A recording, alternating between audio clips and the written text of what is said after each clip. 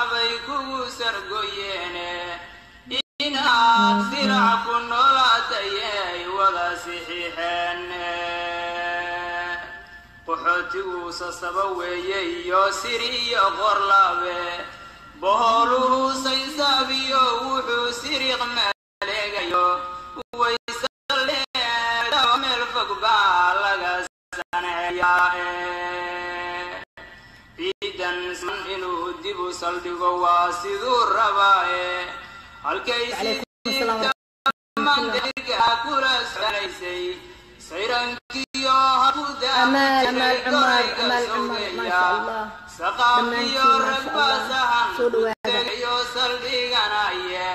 adiguna saluglaati iyo mogan siraase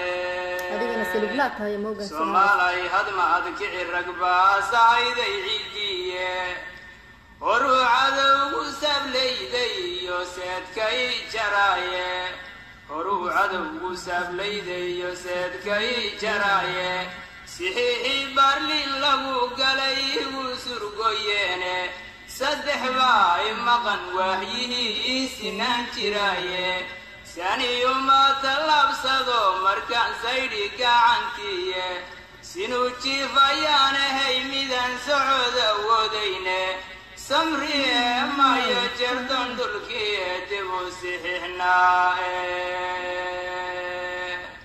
soddon sano dalkeennan burburaye dulliigu saaqay sacaadiyo wanaagiyo dhulkan samaha loo diiday saqdaa dhexe gantaalaha dalkan laysku soo codsiiyo sawaariiq kumaadiyo dadkan hoobiyuhu saaqay rag baa taangiisilisji asalaamu calaykum waraxmat ullaahi tacaala wabarakaatu bismi illaahi raxmaan raxiim dhammaantiin walaalayaal waan idin salaamayaa ummadda soomaaliyeed meel kastoo aad joogtaan waa barnaamijkii midnimo qaran ee aada mar walba nagala socon jirteen. Haddaan nahay tiamka suber teamka midnimo qaran.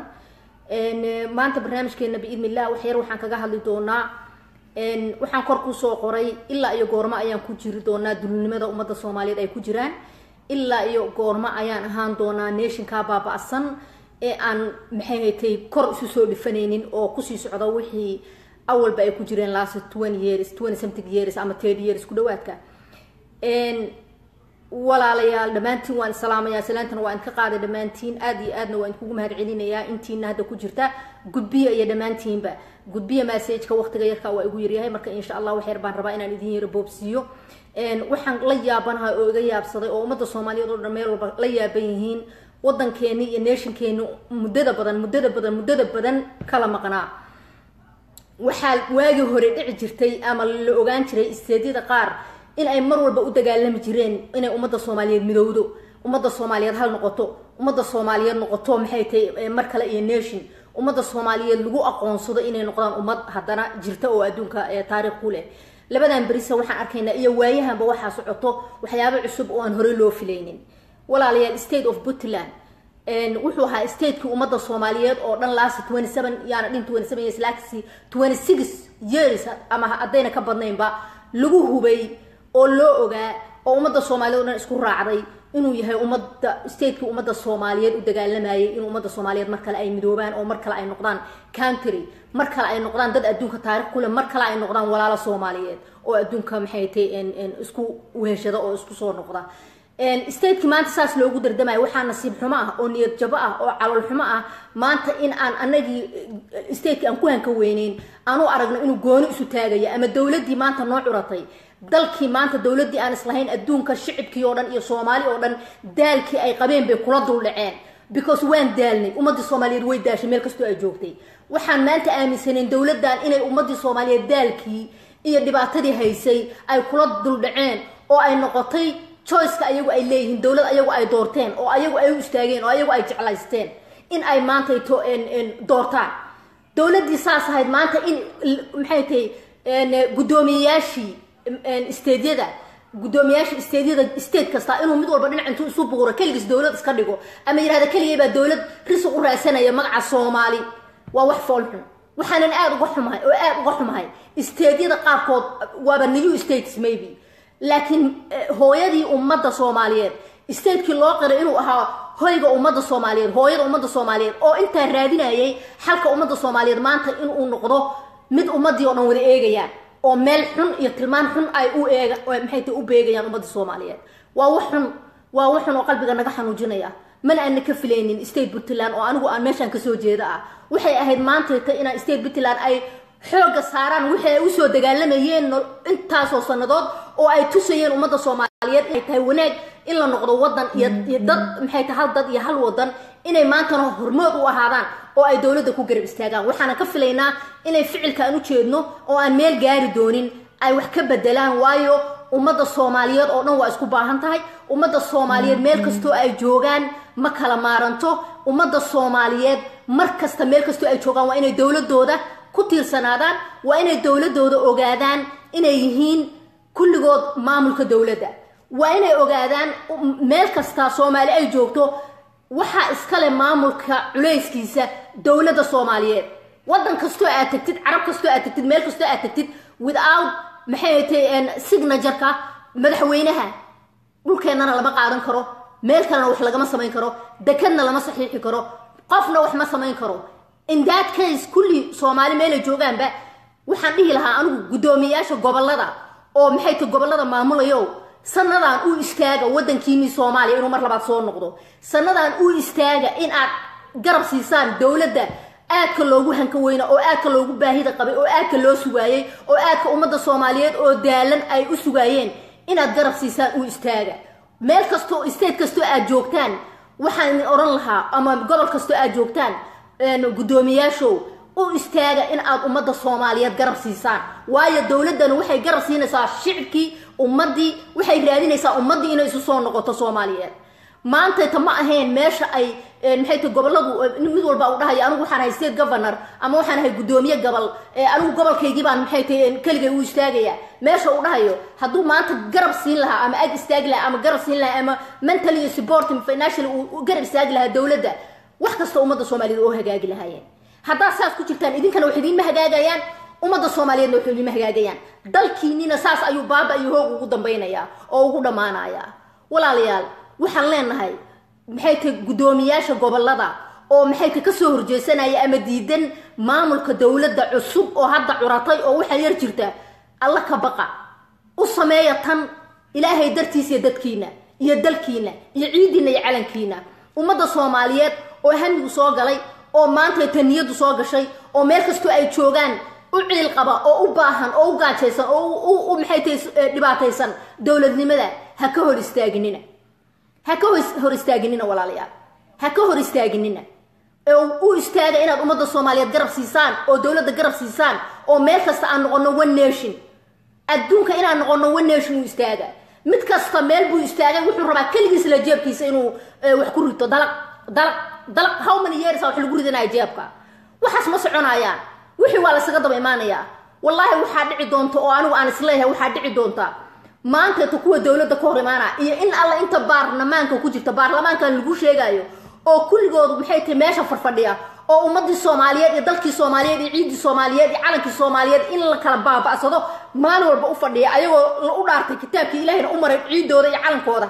Haddana wax walba hoosta aan waxba ka qabanaynin ee aan waxba maxay tahay hawshoodii shaqadoodii qabsanaynin ee qof walba intuu lacag iska qaata meel iska fadhinaayo oo uu maxay tahay iska sugaayo waxaas madaxweynaha iyo prime ministerka keliya ay sameeyaan. Waayo maanta ta haddii ay baarlamaanku shaqadooda qabsanayaan waxa socda oo ka socda gobollada ma dhaceen waxa ay samaynayaan guddoomiyeyaashu ma dhaceen waxa ay maxay tahay meel kasta ay wadaan dadka nahaabiinta iyo inta maxay tahay tuugada ahi ma dhaceen wax walba waxay meeshay wax ka qurmeen oo meeshay wax ka baaba'een oo meeshay maxay tahay waddankeeni uu ka baaba'sanyay oo ka hoogay oo ka ba'ay? Waxa weeyaan baarlamaanka. Baarlamaanka constitutionka ay akhristaan anagu ma naqaano. Meeshay wax ka keenaan ma naqaano. Meesha ay maxay tahay waddanka sharcigiisa ay raacayaan ma naqaano. Because sharciga waddanka haddii la raacayo ama lagu dhaqmaayo ama sharciga ummadda soomaaliyeed u degsan ee ay leedahay lagu dhaqmaayo waxyaabaha gobollada ka socda walaalayaal ma dhaceen. Walaal ma dhaceen waxyaabaha gobollada ka socda ummadda soomaaliyeeday waxaan idin leenahay isteedyada governorka oo maxay tahay guddoomiyayaasha ciidan iyo calankiina u istaaga. Maanta waddankiina hiiluu idinkaga baahan yahay. Wadankiina hiiluu idinkaga baahan yahay. U istaaga ciidiina iyo calankiina dadkiina dhaafa wadankiina daysta dowladiina daysta. Dowlo waxay joogtaa labadaa nin oo imaaday waxay joogaan waa wax tirsan. Laakiin wadanka soomaaliya waxaa la rabaa forever inuu taagnaado. Oo generationba generationka ka dambaysa uu wadan yeesho markaa ha ka fikrinina hadda dowladda joogta iyo dowladda maantayto maxay tahay inoo maxay dhaqdhaqaaqaysa ha ka fikrinina ee waxaad ka fikirtaan in long run in long run ka fikiraya waqtiga dheer oo ummadda soomaaliyeed ay u soo maxay ta oo u baahnaayeen inay helaan dowlo. Inay helaan dowlo. Walaalayaal waxyaabaha qaarkood wallahi waa wax xun waa fawaaxisho because waddan aan la rabinin inuu marnaba marnaba inuu dego waddan aan la rabin marnaba inuu dhaqdhaqaaqo. Waddan aan la rabin marnaba inuu magac yeesho. Waddan aan la rabin marnaba in uu kor u soo kaco oo maanta dhan soomaalila isku meeraysanayso. Dadkii dowladda noo noogu jiray oo la rabay inay adduunka waddanka xaqiisa siiyaan oo ummadda soomaaliyeed ciidoodii calankooda u badbaadiyaan. Waa kuwa meel walba iska fadhiya baarlamaankii meel walba iska fadhiya oo maxay tahay wax kastoo dhacaya oo kay ku ah.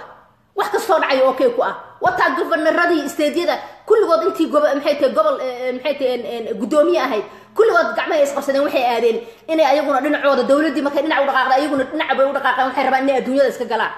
War carabtiina baaba'satay oo carabta maxay tahay boqolka sano waddankayaga soddonka sano u baaba'sanaa aan salaamu calaykumna dhihi jirin. Oo waxba nagu darsan jirin. Oo waddankayaga diidaaya barwaaqadiisa iyo noloshiisa iyo naftiisa. Oo aaminsan ummadda soomaaliyeed dad qiimale inay yihiin. Oo aan rabin inay ummadda soomaaliyeed dib u soo laabtaan oo aan rabin ummadda soomaaliyeed inay mar dambe mar kale ay nation noqdaan oo aan rabin in soomaali ay barwaaqadooda iyo gaaskooda iyo daamankooda iyo afaarahooda la soo baxaan. Maxaa loo daba socdaa? Maxaa loo daba socdaa? Oo jaakada loogu xiranayaa? Oo laysugu sii kuuskuusayaa waa gardarro. Soomaaliya waa gardarro. Dowladda waxa weeyaan waa in la garab istaago. Madaxdan yaacayso dhow guddoomiyaasha oo isteedyada oo yaacayana maxay inay yaacaan ma aha waa inay dowladooda ku xirtaan waa inay dowladooda sugaan waa inay dowladooda la garab galaan hawsha ay ku jirto. Ma ahan mid walba inuu dhaho anigu isteed hebel baan madax ka ahay. Qof puntland jooga oo shiciba waan ogahay bartaasaana ku fadhiyaa inuusan dhahayni maantayto gooni baan u istaagayaa ama dowladda soomaaliyeed ma rabo ama ma rabna inaan neeshi noqono. Puntland ummadeeda shicibkeeda iyo dadkeeda iyo macaa dowladda kuwa ku jiraan ma u malaynaya inay rabaan. Ma u malaynaya inay yeelayaan. Because waa meeshii aas-aaskii ummadda soomaaliyeed boqolka shir lagu soo qabtay oo maxay tahay rabtay inay ummadda soomaaliyeed neeshi noqoto one more time. Rabtay. Markaa shalay qof imaaday iyo daraad qof imaaday midna inuu taariikhdii ummadda reer puntland ay lahaayeen uu qaato ma doonayno. Waa inay reer puntland tan ka dhidhiyaan waa inay ka kacaan. Awalba weligoodba soomaalinimay raadinayeen soomaalinimada ay raadinayen waa inay u istaagaan. Soomaalinimada ummadda soomaaliyeed ay raadinayeen oo ay jeclaysteen waa inay u istaagaan. Ma ahan hadda waxa socdo wax fiican ma aha. Waxa socdo oo maxay tahay ay maxay tahay guddoomiyaashu samaynayaan oo nala dhahayo weliba guddoomiyihii stateka puntland ayaa ugu horkacay kullina waa ka daba dheheen mid kastaaba uu ka daba dhahay because waxaa la raadinaya wax mucaarad ah. Waxaa la raadinaya wax soomaaliya inayna burburtan lee raba. Waxaa la raadinaya wax inay soomaaliya degin degtan le aan rabinin. Waxaa la raadinaya wax jid u fura. Jidkii markaa maanta ninkii dhammaa oo maxay tahay mutacalin waaye la dhahay oo lagu hanweynaa inuu jid u furo ma aha. Ummadda meelaha taagan. Inuu jid u furo ma aha inay puntland sida ay weligeed ahayd oo lagu yaqaanay sharaftii lagu yaqaanay inay ku joogtay ahayd. Madaxweyne wuxuu joogaa shan sano iyo lix sano iyo toddoba sano. Laakiin nation wuxuu joogaa forever. Nation wuxuu joogayaa mar kasta. Forever buu joogayaa. Marka nationkii ummadda soomaaliyeed waa in laga wada fekeraa waa in laga fekeraa nation of somalia waa in laga fekeraa ciideen iyo calankeena. Waa in laga fekeraa dhulka ilaahayna siiyo ballaaran. Waa in laga fekeraa ummadii soomaaliyeed ee daashay ee meel walba ku silicsan ee habeen iyo maalin meel walba ka oynaya ee meel walba caruurahoodii ayay ku silicsan yihiin. Inay waddan helaan. Walaalayaal waa in laga fekero waa in laga fekero ma ahan habeen iyo maalin inaan u taagnaano fawdo iyo waddankeeni habeen iyo maalin in la gubaayo in la kala tuuraayo in la kala fogeynaayo in maxay ta la kala ood oo la kala qaybqaybinaayo waa taariikh cajiib ah because maanta inaan maqalno maxay tay governorkii ama guddoomiyihii puntland ayaa diidan dowladda? Amaba ka soo horjeeda? Amaba keligiis wax gooni u raadsanaya no way. Ummadda puntland ma raban inay go'aan. Ummadda puntland waxay raadinayaan xalka ummadda soomaaliyeed. Weligoodna waxay u taagnaayeen xalka ummadda soomaaliyeed. In alla intii shir lagu raadinayo nabadeynta ummadda soomaaliyeed waxaa lagu soo dhigay garoowe iyo meelaha u dhow iyo maxay tahay inta puntland ah. Ma u malaynaya qof maanta shiciba oo reer puntland inuu rabo dowladiisa iyo dadkiisa iyo dalkiisa inay kala gogo-aan. Ma u malaynayo ummadda soomaaliyeed oo daashay ma u malaynayo qof shiciba maanta inuu rabo in maxay tahay puntland keligeed isu taagto oo keligeed ay gadato dekedaha oo keligeed ay maxay tahay jeebka lacag ka soo buxsato oo keligeed ay carabaha u dhoofto. No! Waan ogahay dadka gobta ah oo qiimaha leh oo sharafta leh oo reer puntland waxay u dhintaan soomaalinimada. Waxay u dhintaan sharafta waxay u dhintaan shicibka reer puntland sharaftay u dhintaan. Laakiin waa inay ka dhiidhiyaan waxyaabaha qalabka oo xun. Waa inay diidaan waxyaabaha xun. Waa inay mar walbaba matalaan booskii ay u matalayeen ummadda soomaaliyeed ee ahaa inay reer puntland yihiin nabadoon. Oo ummadda soomaaliyeed ay rabaan isu keenaan. Oo ummadda soomaaliyeed ay u noqdaan hoygii maxay tahay hooyada ummadda. Weligeed saasaa la dhihi jiray. Inta aniga qaxa aan joogay oo aan ku garaasada qurbayaashan waxaasaan maqlaayay. Tan hadda aan maqlaayo ma maqli jirinin ummadda reer puntland waa ummad aada u sharaf badan oo u qiimo badan oo u sharaf badan. Maantayto dowladda maanta la doortay waa dowlad ay doorteen shicibkii gaajaysnaa shicibkii baahnaa shicibkii daalay oo anigu aan ka mid ahay oo daalay oo daalay say qurbo u taagnaayeen oo waddankay ku dhasheen aan arkinin. Waa waa dowlad ay doorteen ma ayeeyooyin iyo awoowayaal qabow dilay oo lugihii baraf ka galay oo ay mari mursal oo ooyeysa aad aragteen oo ay ka mid tahay. Waa dowlad ay doorteen dad habeen iyo maalin raadinaya oo ducaysanaya oo raadinayay qof ummadda soomaaliyeed mideeya. Madaxweyne ummadda soomaaliyeed isu keena. Madaxweyne ummadii soomaaliyeed u matala madaxweyne. Madaxweyne ummadii soomaaliyeed iyo government ummadii soomaaliyeed u matala inay ayagu u shaqeeyaan inay dadkoodii yihiin inay shicibka maxay tahay taladooda ku soconayaan inay shicibka maxay tahay wixii ay jeclaystaan samaynayaan inay waddankoodii dib u soo celinayaan nimankaan aad aragteen oo maanta ka ah dowladda ummadii soomaaliyeed oo dhan ayaa daawanaysa oo rabta. Marka iyadoo ay saas tahay in marba isteed yari dhinac oo nin yaro aan waxba haysanin oo jeeb taraq aho xaalkiisa alla ogyo aqoon badan xataa aan lahayn uu marba dhinac intuu isu taago dhaho oo puntland way diiday annagana diyaar baan nahay waa diidnay. Annaguna annaguna waxaan raadinaa imaaraat imaaraat maxay kaa ogyihiin imaaraat waxay idinka ogyihiin ma laha. Soomaaliyey waxay idinka ogyihiin male waxay idiin hayaanna ma jirto imaaraatska aad sheegaysiin weligiin maxaa qabtaan idimay dhihinin? Hooyo ku go-ana ma idin dhihinin? Ummadda maxay tahay dadkan oo turkiga waaba dad weligeedna caawinaya oo na garab taagnaa oo na tusaayay inaan waddan islaamahoo burburnayn laakiin imaaraats maxay intuseen hal xaba idimay tusinin? Maantana waxay u kala tartamayaan oo maantayta dowladda ay maxay tahay guddoomiyaashii gobollada u kala yacyaacayaan guddoomiyaashii gobollada u kala yacyaacayaan because gaaskeeni iyo barwaaqadeeni yaa la rabaa because gaaskeennay rabaan inay u saxiixaan. Because gaaskeeni keliya ayaa ayaga loola heshiinaya laleeya dowladdan ka soo horjeesta. Because dhulkeenna la raba in la qaato oo laga faa'iidaysto oo barwaaqada ku dihatan oo weligeed ku dihinayd oo iska fadhiday laga gurto ayaa ayaga loo sasabanaya laakiin soomaaliyay meel kastoo aad joogtaan shicibka soomaaliyeed ow anigu idinka ayaan idinla dardaarmayaa maanta. Anigu idinka ayaan idinla hadlayaa maanta. Meel kastoo aad joogtaan sida aad dowladdaad u doorateen maantana gacmaha isu qabsada. Oo meel kastoo aad joogtaan u diida state governor ama guddoomiyaha gobollada guddoomiyaha gobollada u diida. Guddoomiyaha gobollada waa gunnimo waa waa maxay tahay dhibaato noo socota waxa weeyaan waddankeeni in la kala tuurayba weeyaan. Waa ina kala fogeyn awalba waana la kala fogeynaye laakiin kala fogeyn. Waxa weeyaan waa sidii naloo kala qayb qaymin lahaa waa qaybi oo maamul. Waa qaybi oo maamul. Waa qaybi oo mid albaab ku soo xir oo maamul. Walaalayaal hurdada ka kaca soomaali hurdada saa idinla hadlaynay oo idinla hadlaynay oo idinla hadlaynay waan daalnay. Mana daalayna biidni illaah laakiin hurdada ka kaca.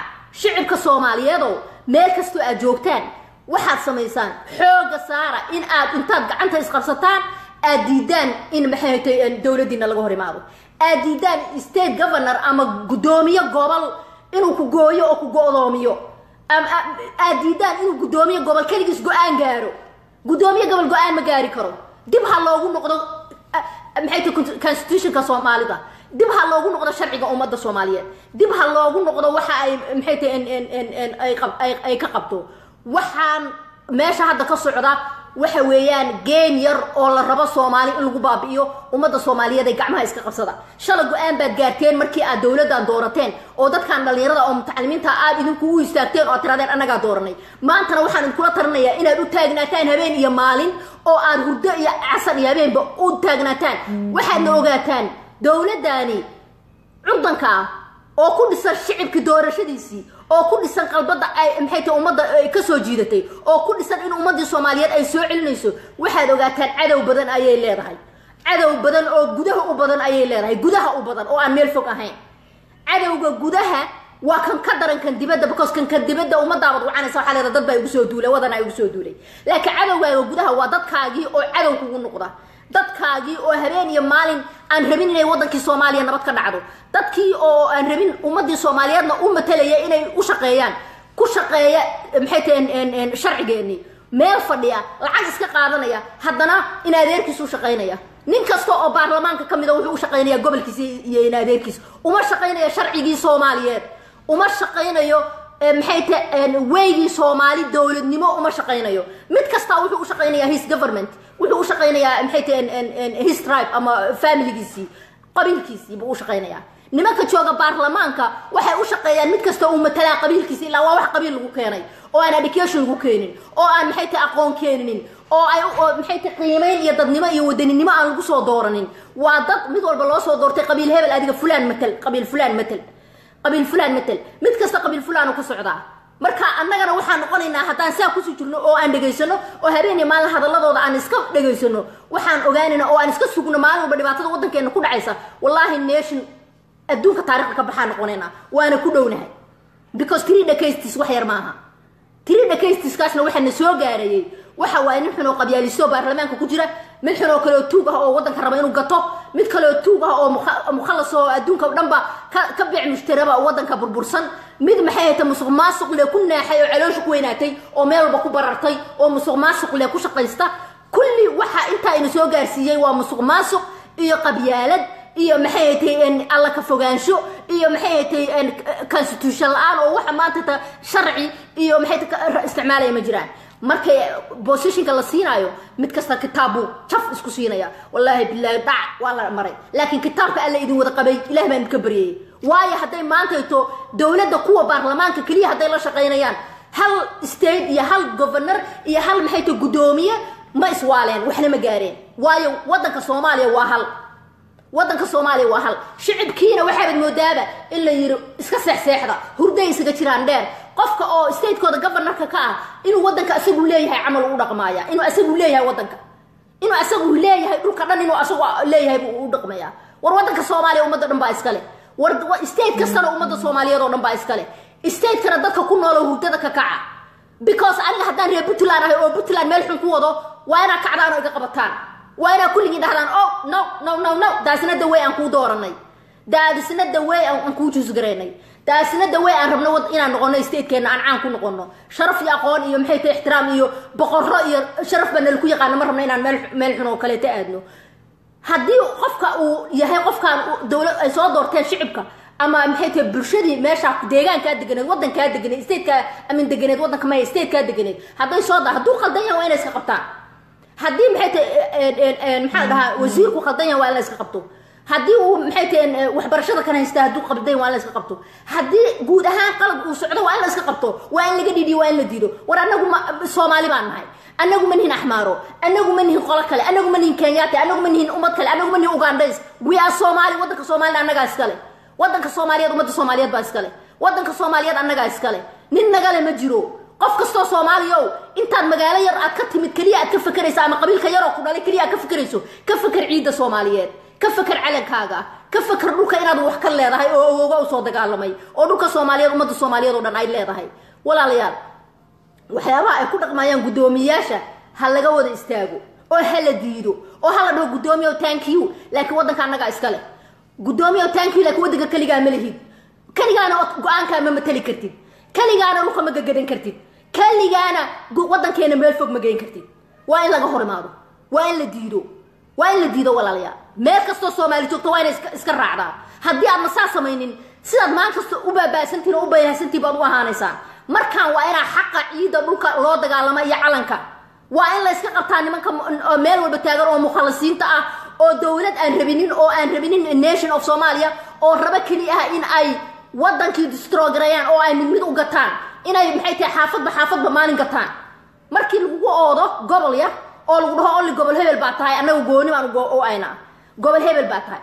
Waxaan ku tusi doonaa gobol hebel ayadoo badda lagugu dulgatay oo baddii aad weyday ayadoo maxay tahay eelboradii lagugu dulgatay oo eelboradii aad weyday waxaa ku xiga garoonka maxay tahay ciyaaraha garoonba ma qabno waddan soddon sano baaba'sanaabaane garoon fiicanba ma qabno. Garoonadaa ku xiga by the time adiga aad indhaha soo kala qaada guriga aad degantaa la gadanaaya guriga laftarkaaga aa ku nooshahay oo maxay ta labada cariisha ama labada qoloo sarta ama qolka bahalka ah laftirkiisaa lagu dulgadanaya haddaadan if you don't wake oo dadkaanayta aadan iska qabanin oo kulligood u taagan in ay wadankii dhan salgareeyaan ama gagataan ama dhoofiyaan ama ay cadaawo ku soo gurtaan ama ay maxay tahay gaaskeeni batroolkeeni dad kale u dhiibaan oo dhahaan soo war dhalinyarada soomaaliyeed ee kaca war dhalinyarada soomaaliyeed ee kaca war dhalinyarada soomaaliyeed ee hurdo dambe soddon sano waa enaf. Hurdo dambe idinma harinin. Hurdo dambe idinma harinin. Hurdo dambe idinma harin anigu waxaan la hadlayaa weliba dhalinyarada ka soo jeeda waqooyi iyo bari hurdada ka kaca. Waqooyi iyo bari iyo galbeed iyo kulli hurdada ka kaca. Toosa wadankiina u istaaga.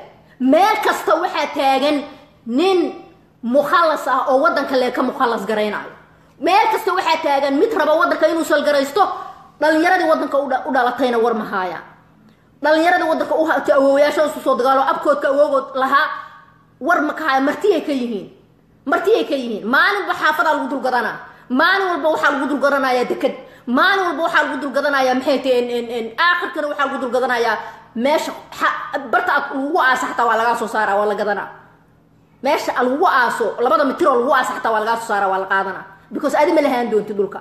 Reer markuu nation markuu rogmanayo waxaa lagu gartaa sansaanka. Sansaanka hadda soomaali ka muuqda ayaa caddaynaya soomaali inay khayr badan uuna soo socon laakiin waa inaan ka hortagnaa waa inaan diidnaa. Already ummadda soomaaliyeeday waxaa ina soo martay wakti aad iyo aad iyo aad u dheer oo aana ka faa'iidaysan walaalayaal oo aan iska hurinay oo waddankeenii loo tashtay caqli xun oo dhan u tashteen. Intii caqliga xumayd oo dhan baa u tashatay. Waxaa u tashtay in alla intii tuug ahayd. Waxaa u tashtay in alla intii wax matare ahayd. Ilaa il alla intii aan rabin taarikh inay reebaan laakiin waddanka inay gataan intii ugu talagashay keliya ayaa maxay u tashtay. Innagana waa iska jiifnaa walaalayaal waa iska jiifnaa dhalinyarada wuxuu ku leeyahay maxaan ka samayn karaa yaakhay wuu iska hagaagi doonaa. Yaakhay ma la rabo. You will have to wake up walaal yaakhay ma la rabo. Yaakhay waxba kuuma qabanayso. Yaakhay ka kac hurdada. Yaakhay yasarle awoowayaasha ayagoo habeen oo waxba aqoonin ayay dadka iska celin jireen. Maantaytana waa inaad dowladeena u istaagtaan waa inaad diidaan guddoomiyeyaasha meel walba jaakadaha intay gashteen keligood isdaba kacaayo oo leh wadankii waxaan ka soo horjeednaa dowladda oo u malaynaa inay sharaf ku helayaan guddoomiyaasha diidan wadankii inay noqdo mid guddoomiyaasha diidan soomaaliya inay noqoto nation guddoomiyaasha diidan in ay maxay tahay keligood waxay dhuuqaayaan oo ummadiina ka gaajaysiiyeen oo ka rafaadisiiyeen oo maanta ummadii soomaaliyeed meel kasta oo ay joogaan ay naf yihiin naf yihiin oo maanta to dowlad qabanaysaa ay jirinin haddana mid baa horkacaayo shaar intuu gashtay afar nin oo saaxiibadiisana intuu isugu yartay dhahaayo okay anaa meesha waxaan ka ahay madaxweyne waa waa waa guddoomiye guddoomiyayaasha qaladkooda ha la tuso. Guddoomiyayaasha qaladkoodana ha la diido. Ummadda soomaaliyeed ay dalsaa kuma noqonayno. Waddankeenana waa loo tashtay ummad badan oo cadow badan baa u tashtay. Annagiina waxaan nahay dadkaa iska iska raacaayo oo waa sheekadii oo maxay tahay wala abwaan boodhariye. Naagtii dalqaladka iska daba gashay waay naa waa dalqalada ka har waaba iska daba carare waa dalqalada ka har waaba iska daba waaba sheekadaas ummadda soomaaliyeed. Meelay u socdaan ma yaqaanaan. Nin baa isaga soo fadhiisanaya. Wuxuu leeyahay state governor baan ahay. Wuxuu leeyahay oo waxaan ahay maxay tahay guddoomiyahaagii kulli madaxweyne camal dhulka u seexanaya. Markaasuu dhulkii gadanaya markaasuu dhulkii xaraashanaya. Markaasuu marna axmaaro soo wadanaya. Marna maxay ta carab soo wadanaya. Marba meel u dhoofaya. Adiga maxaa qabanaya? Faraha ma barurya ma ku haysataa war ummadda soomaaliyeed sida hurdada ka kaca walaalayaal oo sida isku dhaama oo walaalayaal waxaan garanaya anoo naaga oo dumar ah dumar ah naag baa dhahdaan markaad dumarka liidaysaan anoo dumara waxaan garanaya raggiinagana waa inay gartaan oo ka badan ay gartaan. Waa inaad ka istaagtaan damiir xumada maanta socota. Dowladdan curdanka ah oo maanta noo soo baxday oo islaamihii weynayaan odayaashii weynayaan oo meel walba odayaasheeni iyo islaamaheeni meesha wadankoodii caruuraha iyada u tahay iyo kay awoowaha u tahay iyo kulli laysla fadhiisan lahaa. Maanta waxay ku wada arusan yihiin billimo dhaadheer oo halkaasa. Habeen walba cabaar markii la joogaba mid baa waa hore naftu ka dhacdo gurigi lagu jabiyaa oo laga hela asaguyo mayd ah meel ay aadaan ma laha. Because mid calooshu intaa la egtaho jeebkuna intaa la egyahay baa wadankii uga horreeya oo qof ka qabanayana uu jirinin. Oo maxay haytay aanu ogolayn wadankiiba inuu nabad noqdo iyo inuu dego? Oo aan ogolayn wadanka soomaaliyeed inuu noqdo wadan oo aan rabinba wadan odayaashii dhalkaasay ku dhinteen wallahi maalin waxaa laii sheegaya oday toddoba beri gurigiisa ku dhex jiray oo mayd ahaa oo aan la ogaanin meeshaan aan deganahay. Waxaasoo dhibaataa waxa noo keenay waxa weeyaan waa cunsurigayaasha waa qabyaaliistayaasha waa tuugada. Waxa weeyaan in alla inta wadankii inay dhacdo ma ogyan wax kale aan aqoonin oo aanba ka fakeraynba sharafta waddanku lahaan lahaa. War soomaaliya dignatigeena maxaa ku dhacay? War ummadda adduunka dhan sharaf bay leeyihiin. War sharafta waddankaaga waa inaa u dhimatid. War sharafta waddankaaga waa inaad ka fakertid war sharafta waddankaaga waa inaad ku xisaabtantid inaad u raadisid. War sharafta waddankaaga waa inaad meel walba u gashaa. Meel kasta waa inaad u gashaa in maanta sharaf ma aha in madaxweynihii intii laga hormaro. Maxay tahay madaxweynihii markuu dhahay war annagu dhexdhexaad baan nahay waddan awalba baaba'sanaa oo soddon sano baaba'sanaa baan nahay. Hadda annagii baa soo noqonayna dhexdhexaad baa idin naha carabay haddaa isdagaashaan afar nin inay ka kala ordaan gobollada oo ay dhahaan waxaan ahay guddoomiyaashii gobollada oo annagaa matalayno madax baan nahay. Waxaas waxa weeyaan shicibkii soomaaliyeed damiir xumadiisaa la arkay. Shicibkii soomaaliyeed baaba'naantiisaa la arkay iyo how long ay baaba'sanaayeen.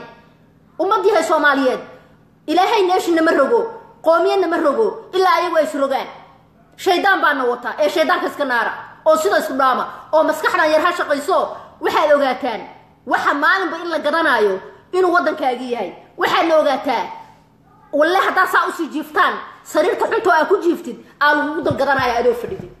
Sariirta xunto aa ku jiifta aa lagugu dul imaanaya ilaa markii dekada berbere la soo gatay ama tii puntland la gatay waxaa ku xigana waa garoomadii waxaa ku xiga ayrabooradii waxaa ku xiga maxay tahay waxa weeyaan dee sariiraha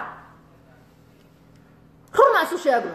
Runta ma la iska qarnaa war runta ragga ma ka nixiso sariiraha ku xigo.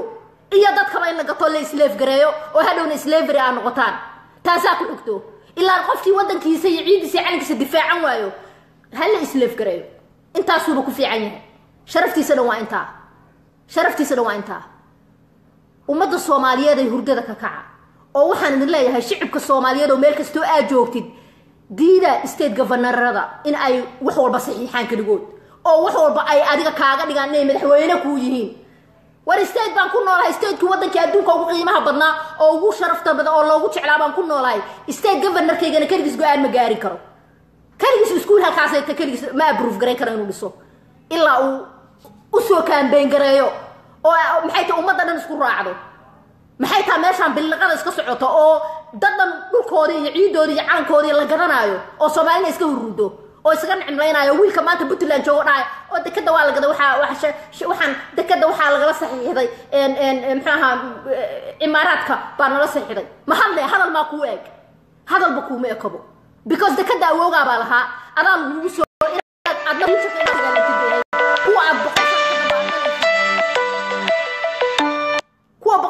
dambe aad dhalaysid inaa ugu dagaalantid bay ahayd ma ahayn inaad tiraahdo oo dekada baalka lala soo gaaray waa damiir xunada iyo waxaa nalaku sameeyey. Waxaan u malaynayaa kulli soomaali waa sixran tahay. Waxbaa lagu akriyey damiirkii dhan baa laga kaxeeyey meesha wiilka shan iyo toban sano meeshuu gaaro neeshin dhan buu hogaamin jiray. Shan iyo toban sano wiilka jira waa kii no maxay tahay soomaaliya soo xoreeyey. Oo ka soo saaray maxay tahay gumaysigii maanta waxa jira waxaabaad moodaa xataa qalad waa qalad ma dhihi karaan. Qofkii ilaahay ka camal ilaahay meeshii laga baqlaya bini aadana laga baqaaya. War ummadahay soomaaliyeed isdaba qabta walaalayaal isdaba qabta oo isdaba qabta oo sidaanu sii soconaysa maaha oo guddoomiyaasha waxaan leenahay shaydaanka iska naara oo barooniga dhulka dhigta oo waddanka soomaaliyeed u ogolaada waddan inuu noqdo.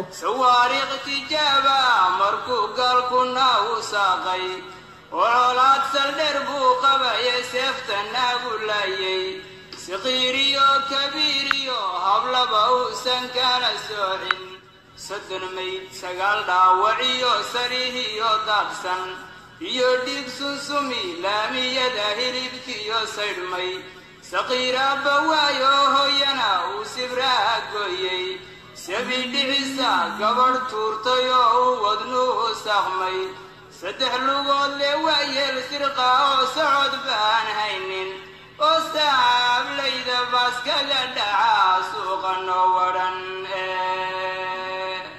subxaan saacidaad badaane sidaan rabaana waad garan qalbiga waad la socotaaye naga samata bixiyo nasiye samiya gulwaarta sabool gaajo awgeed hurdada seexan kari waayey saqdaa dhexe ilaa tuugayo aan sadnaba haysan iyo socod midaan karin gadaal si qasha mooyaane iyo dhaawac miduusan yadoy sabka kala goysay ummad wadaa sidaasaana hoos ilac la tahayse salaamullaahi gul waxaan ilaahayna wada siiyo inaad silac ku no wallaahi silac ku noolaasho waxaa dhaanto. Soomaalida maxay dhihi jireen silac ku noolaasho? Soddon guursataa dhaanto. Silaca soomaali ku jirto soomaaliyey waxaa dhaanto in aad ka dhiidhidaan oo aad ka kacdaan oo aad diidaan oo aad ogaataan inay xornimada iyo wanaagga intaba gacantiina aad ku raadsan kartaan. Wax kasta haddii loo dadaalo waa la helaa. Wax kasta walaalayaal haddii loo istaagana waa lagu guulaystaa wanaagga specially wanaagga haddaad raadiso waad ku guulaysanaysaa waadna helaysaa. Haddii aad wanaagga u istaagtana ilaahay waa kugu guulaynaya ummadda soomaaliyeed nation ha noqoto mar kale ee ha loo ogolaado shicibka soomaaliyeed oo hurdada ka kaca oo mar walba u istaaga inaad nation ummadda soomaaliyeed u raadisaan. Inaan noqono dad dal leh oo ciid oo calan oo diin leh oo hal meel kas meeshii awowgad maxay ta ugu soo dagaalamay ku nool inaan noqono. Waa inaan iskala hadalnaa wixii khaldan oo markaa arkayno. Waa inaan iskala hadalnaa nimanka baarlamaanka oo ayagu u maleeyey constitutionka in ayagu samaysteen. Waa inaan la hadalnaa nimanka guddoomiyeyaasha ah oo kala cararaaya oo dowladiiba lugaha qabsaday labada lugood labada lugood. Sideed bilood ay jirtaa? Dowladii labada lugoodaa lagu dhegay ba cunug yar oo gurguuraa damcay oo labadii lugood la qabsaday goormuu socod baranaa ii sheega. Goormuu socod baranaya cunug yar oo maanta gurguura la baraayo oo labadii lugood lagu dhegay goormuu socod baranaya ma baranaayo weligiis. Wuxuu noqonayaa fadhiid. Maanta dhan dhinacyada waxaa haysta dowladii oo meel ku dhegan oo lugihii ku dhegan oo ftadii ku dhegan oo dhabarka ku dhegan waxa weeyaan maxay ta guddoomiyaashii gobollada waxa weeyaan kuwa baarlamaanka waxa weeyaan kuwa intaa raadinaya in ay wadankii ka mukhalis gareeyaan oo maxay ta wadankii ay ka dhigaan import export kuwii ku naxnaaxay oo calooluhu ku weynaa ftooyin kuwa weynaadeen oo carabta guryuhu ka wada gagatay milyan milyan dollarska waayo kuwa raba inay soomaaliya deginin. Kuwa raba inay ku naaxeen dhibtay ku naaxeen keliya u soconayso iska qabta kuwa waxay ku naaxeen waxa weeyaan inay wadanka liqaan liqaan liqaan liqaan. Adiguna aad dhimato dhimato dhimato dhimato. Oo aad qaxdo qaxdo qaxdo. Oo maxay tahay aad meel walba ku balanbasho jeelasha gashaan. Kuwa waa inaad iska qabataan. War labaatanka tuug ama soddonka tuug oo soomaaliya oo big la maxay tahay ah ha la iska qabto. Ha la iska qabto. Wallaahi waa la wada garanayaa. Ha la iska qabto. Meeshuu rabo gobolkuu rabo stateku rabo ha ka yimaado. Laakiin kulligood ha la iska qabto. Anigu saasaan kula tarin lahaa dumarka soomaaliyeed oo meel kastoo aad joogtaan. Anoo ku hadlaya afka dumarka soomaaliyeed waxaan idin leeyahay ka kaca meesha. Because nation aan dumar wax ka qabanin waxba keligood uma hagaago. Rag aan dumar la socon waxba ma hagaago. Dagaalka lambar one ka ahaydeen dhibaatada lambar one ka ahaydeen qaxootiga lambar one ka ahaydeen lambar one ka noqda nation of somalia. U istaaga. Because dumarku aad bay u caqli badan yihiin waan ogahay dumarka soomaaliyeedna waaba ka xag jiraanba. Hadda laakiin waa hurdaan. I don't know why saddex gabdhood afar gabdhood baan arkaa. Iyo dad laba qof saddex qof aan ogahay oo la fadhiya caqligooda meel iyo dadnimadooda. Hurdada ka kaca. Walaalayaal dumarow hurdada ka kaca. Haddaan inagu nation of somalia u istaagna ayuu waddan noqonayaa haddaan dumarka soomaaliyeed gacmaha intay isqabsadaan ay dhahaan this is wrong. Ladas waddankeeni noo dhisa mar kale.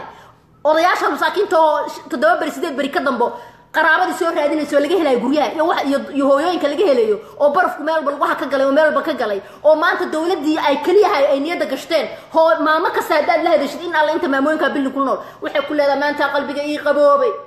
Maanta ayaan maxay tahay waxaan rabaa waddankayga caani gelinaan kacabo iska aado. Mid walba saasay ku leedahay. Intii yarkaa dirimkii yarkaa ay ku dirim garaynayeenna niman jeeb weynayaala hortaagan oo ayaga le waxay liqaan le yaqaano zig zig zig zig zig. Meelay u socdaan ma aqaani ummadda soomaaliyeeday u istaaga dalkiina u istaaga dadkiina u istaaga calankiina u istaaga ciidiina ciidda iyo calanku waxay idinka rabtaa inaad u halgantaan. Ciidda iyo calankuna waxay idinka rabtaa hiilo. Hiilo bay idinka rabtaa. War hee dhaha jeebweynayaasha waddanka uga hiiliya. War maxay tahay nimankan xunka maxay tahay waxaan la dhahay baarlamaanka iska fadfadhiyaan oo kitaabka beenta amaray waddanka uga hiiliya. War waxaa waxaa raba soomaaliya inayna neeshi noqonin waddanka uga hiiliya war waddanka inta ciidda soomaaliya rabta inay xaraashato oo gadato ilaa sariirtaada lagugu imaanayo waddanka uga hiiliya. War ilaa alla inta rabto soomaaliya in la qaato at the end waddanka uga hiiliya. Walaalayaal hurdada ka kaca soomaaliyeed walaalayaal hurdada ka kaca soomaaliyeed waan salaamayaa dhammaantiin. Walaashin midnimo waaye walaalayaal waxaan kaga tegayaa asalaamu calaykum waraxmatullaahi wabarakaatu bliis aanu isku duubnaano. Aanan u istaagna diin dalkeena iyo diinteena iyo maxay ciideena iyo calankeena dowladda soomaaliyeedna garab hala siiyo. Dowladdeena curdankaa ee cusub ee wanaagga noo tustay intay waddanka joogtay kuna socota aan u istaagno aan garab siino. Ha lala hadlo state governorskana ama maxay ta guddoomiyaashana kabdhaan hala dhaho. Ha lala hadlo shicibka soomaaliyeed oo haddaadna guddoomiyaasha goboladiina la hadlin soomaaliya saasay baaba ugu jiraysaa forever. Soomaaliya saasay ahaanaysaa ay maanta tahay. Marka waxaan idin leeyahay meel kastoo aad joogtaan shicibka soomaaliyeedow la hadla state governorada naga joojiya waxaa wadaan dhaha. Waxaad wadaan naga joojiya nama anfacaayaan naga dhiga dhaha. Insha allah khayr baan idinkaga tegayaa waxaan idinkaga tegayaa midnimo waxaan idinkaga tegayaa waxaa gacmo wada jir bay wax ku gooyaan. We are stronger together.